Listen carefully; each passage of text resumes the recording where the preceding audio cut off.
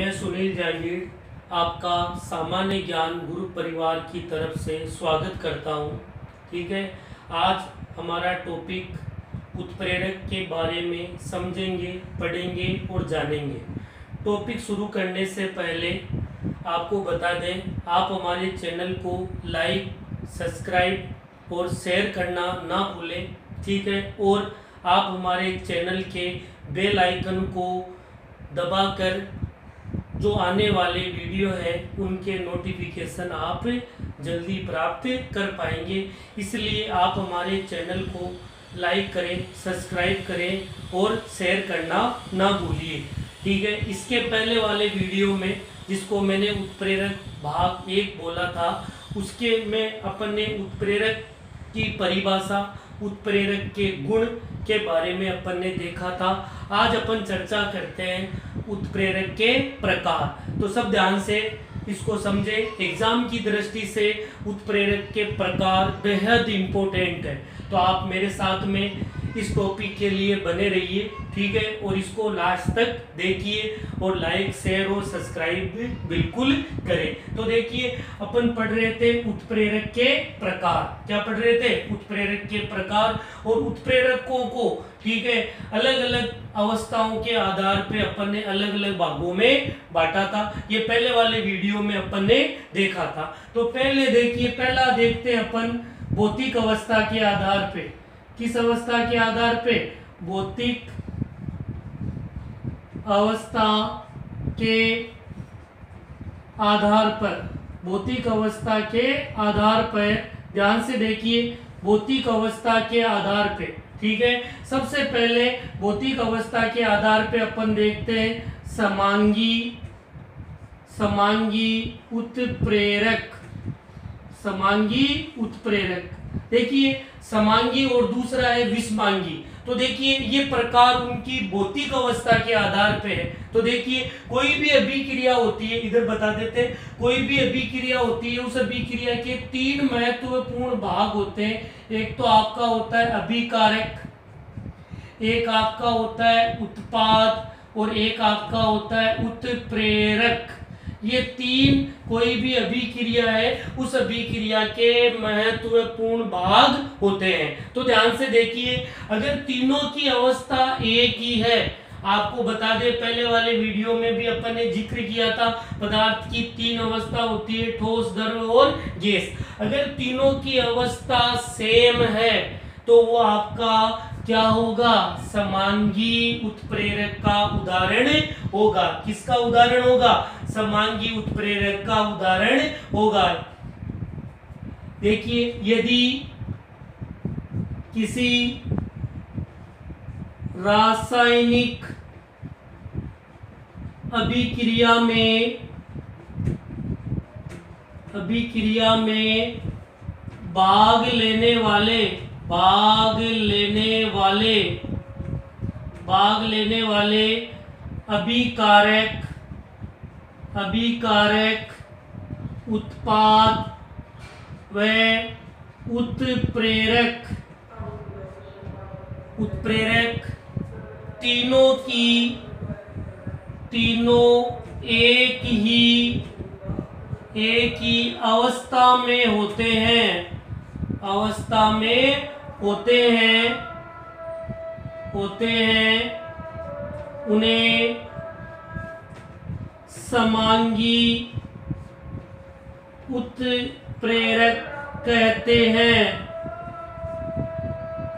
और इस प्रकार की अवस्था जो होती है, उसे समांगी उत्प्रेरण कहते हैं। उदाहरण देखिए ध्यान से, मैंने आपके सामने लिखा SO2 ठीक है SO2 sulphur dioxide sulphur dioxide की अपन रिएक्शन किससे कराते हैं? O2 से. ऑक्सीजन से कराते हैं तो किसका निर्माण होता है? सल्फ़र ट्राइऑक्साइड का निर्माण होता है। और इसके अंदर उत्प्रेरक क्या काम में लेते हैं? N O nitrous oxide. तो देखिए, आपके सामने ये जो भाग है, वो क्या है? अभिकारक है। इसके अंदर ये भी कौन सी अवस्था में? गैस। ये भी कौन सी अवस्था में? गैस। और नाइट्रस ऑक्साइड भी कौन सी अवस्था में? गैस। और आपका उत्पाद है, उसकी भी कौन सी अवस्था है? गैस। इसका मतलब तीनों की अवस्था क्या है?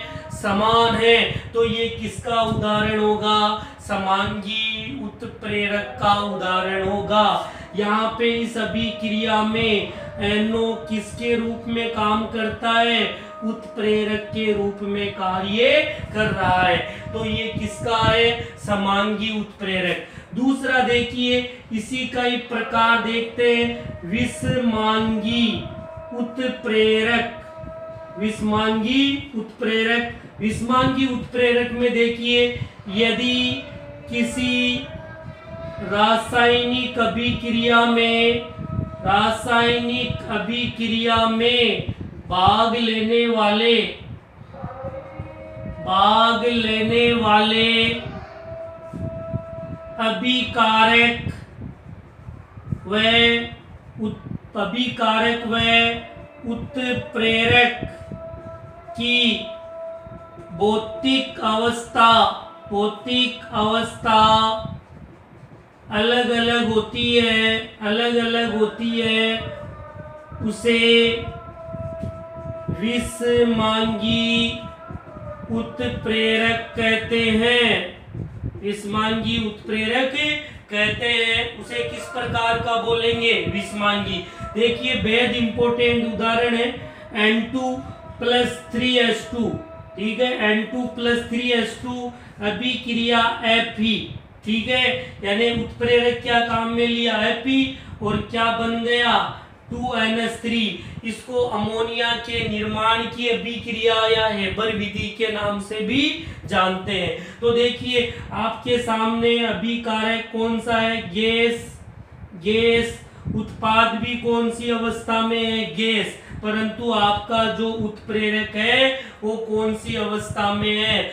सोलिड अवस्था में है। इसका मतलब इस अभिक्रिया में एपी किसके रूप में काम करता है? उत्प्रेरक। एक उदाहरण अपन ने देखा था, वनस्पति तेल है, उसके अंदर वो लिक्विड अवस्था में हाइड्रोजन है, वो भी किस प्रकार का है? आपको पता है, हाइड्रोजन भी किस प्रकार का है? गैस अवस्था में और वनस्पति घी है वो सोलिड या सेमी सोलिड और उसके अंदर अपन उत्प्रेरक क्या काम में लिया? निकल।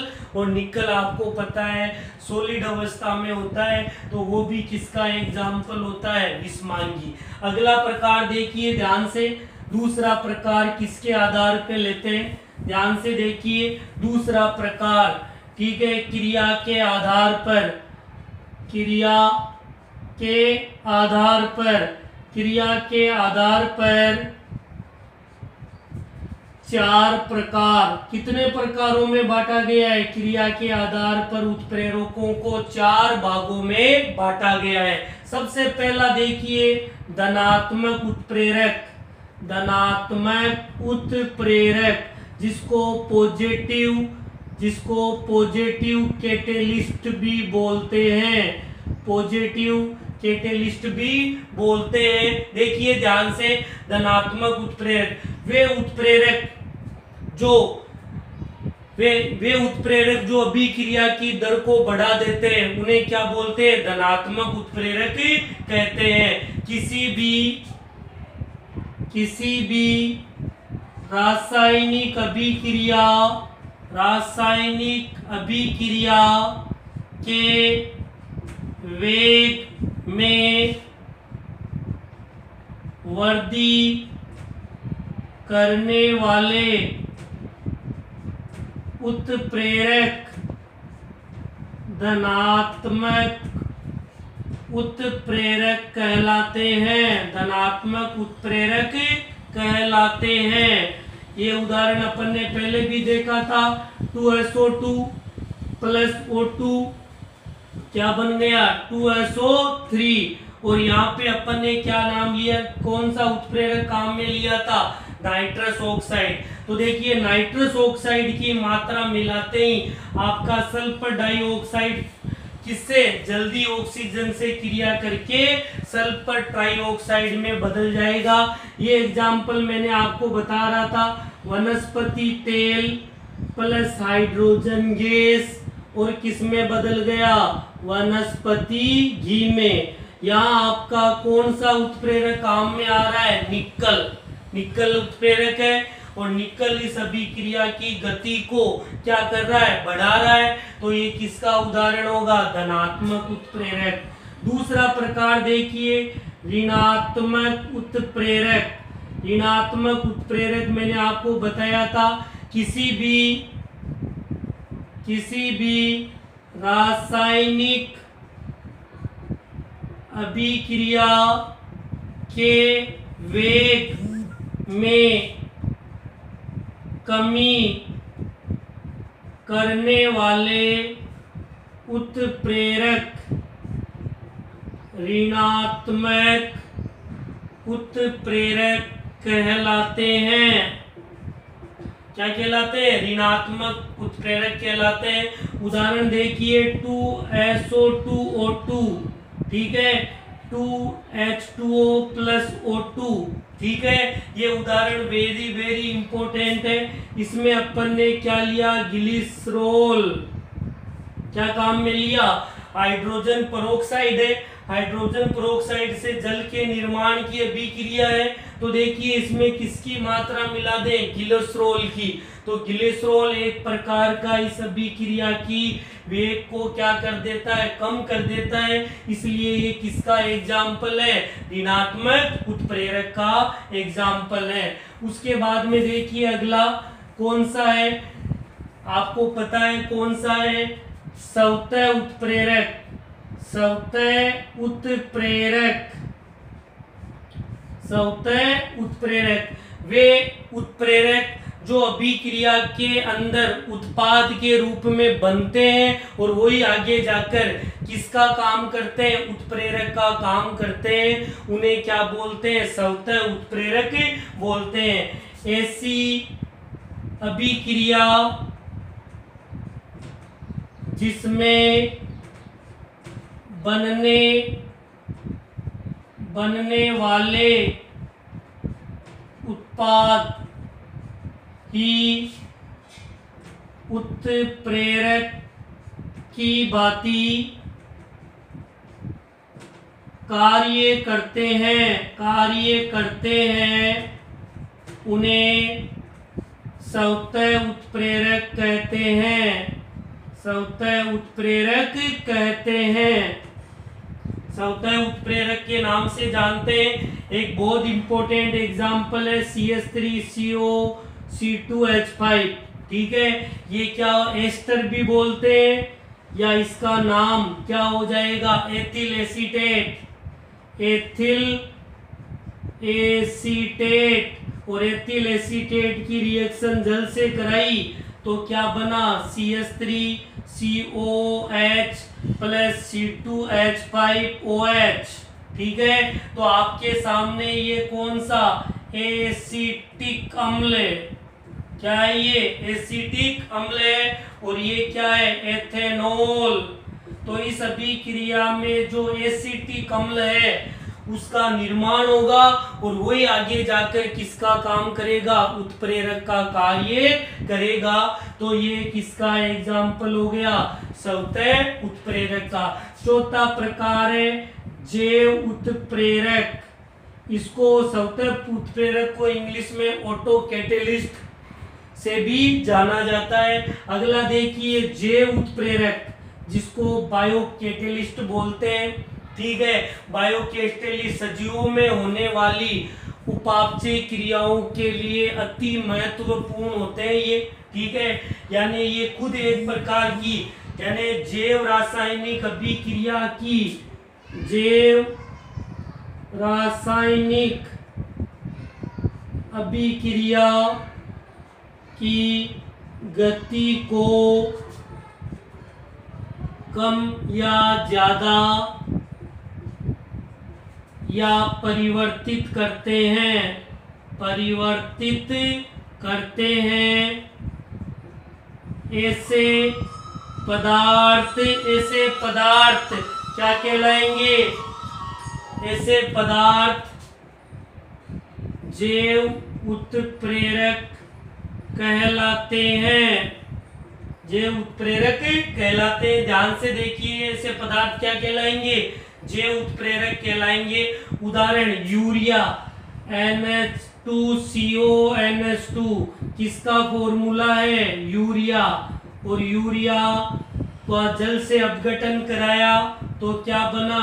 Two N S three plus CO two. और यहाँ पे जो आपका यूरिएज नाम का जो उत्प्रेरक है, वो क्या करता है? यूरिया को अमोनिया अमोनिया में बदलता है। अमोनिया में बदलने का काम करता है। एक बेहद इंपॉर्टेंट माल्टोज, ग्लूकोज और कौन सा? माल्टेज। जो आपका है, वो जैव उत्प्रेरक है। तो देखिए, ग्लूकोज को एल्कोहल में बदलेंगे तो माल्टेज एक एंजाइम है। जो किसका काम करेगा? जैव उत्प्रेरक का। अगला प्रकार देखिए। लास्ट है, क्रियाशीलता के आधार पर। क्रियाशीलता के आधार पे क्रियाशीलता के आधार पर। क्रियाशीलता के आधार पर किसकी क्रियाशीलता? उत्प्रेरक की क्रियाशीलता। उत्प्रेरक की क्रियाशीलता के आधार पे दो भाग देखे। एक तो आपका क्या है? उत्प्रेरक वर्धक और एक आपका उत्प्रेरक विष इसके अंदर क्या होता है? उत्प्रेरक वर्धक और उत्प्रेरक जो विष है, वो उत्प्रेरक की क्रियाशीलता को कम ज़्यादा करते हैं, ना कि अभिक्रिया की क्रियाशीलता को कम ज़्यादा करते हैं। तो ये किसके आधार पर है? उत्प्रेरक की क्रियाशीलता के आधार पे। तो देखिए सबसे पहले, वे सभी पदार्थ जिन्हें अभिक्रिया में मिलाने पर उत्प्रेरक की क्रियाशीलता में वृद्धि हो जाती है। उदाहरण देखिए, क्या होगा? N2 two plus three H two अभिक्रिया टू एन एस थ्री और यहाँ काम में लिया किसका? यहाँ क्या काम में लेंगे? एफ़ और एमओ क्या काम में लिया? एपी और एमओ एक उदाहरण और देख लीजिए। वनस्पति, तेल, और यहाँ पे अपन को पता है निकल के साथ में कॉपर, और यहाँ पे हाइड्रोजन गैस है? ये और किसमें बदला? वनस्पति घी में। तो देखिए, पहले वाले एग्ज़ाम्पल में एफ़ क्या है? उत्प्रेरक है, और आपका एमओ क्या है? उत्प्रेरक वर्धक। जो है पी की क्रियाशीलता को क्या करता है? बढ़ाता है। अगले एग्ज़ाम्पल में देखिए, निकल और कॉपर है। तो निकल तो क्या है? उत्प्रेरक है। और कॉपर आपका क्या है? उत्प्रेरक वर्धक की तरह कार्य करता है। तो एग्ज़ाम के लिए ये इम्पोर्टेंट है कि आपका एफ़ e और एमओ में कौन सा उत्प्रेरक वर्धक की तरह काम करता है? तो एमओ किसके रूप में उत्प्रेरक वर्धक की तरह कार्य करेगा? अगला देखिए, वन उत्प्रेरक विष। वे सभी पदार्थ जिन्हें अभिक्रिया में मिलाने पर उत्प्रेरक की क्रियाशीलता में कमी हो जाती है। उन्हें क्या बोलेंगे? उत्प्रेरक विष बोलेंगे। एग्ज़ाम्पल देखिए N two plus three S two two N S three और यहाँ अपन को पता है एफ़ के साथ में यदि कार्बन मोनोऑक्साइड लेंगे तो उत्प्रेरक विष की तरह कार्य करेगा। तो एफ़ और सीओ तो एफ़ तो क्या है आपका? उत्प्रेरक और सीओ क्या है? उत्प्रेरक विष। तो इस प्रकार के जो एग्ज़ाम्पल है, वो अभी क्रिया की के बारे में बताते हैं। तो देखो, इसके जो एग्ज़ाम्पल है, वो बहुत इम्पोर्टेंट है। इनको आप देखें, समझें और इनके बारे में आगे और स्टडी करें। तो देखिए आपको दो पार्ट, एक पहले हो चुका था, एक ये। दोनों पार्ट को मिलाकर आपका उत्प्रेरक का जो टॉपिक है, वो कंप्लीट होता है। इसलिए इस चैनल को लाइक करें सब्सक्राइब करें और शेयर करें। ओके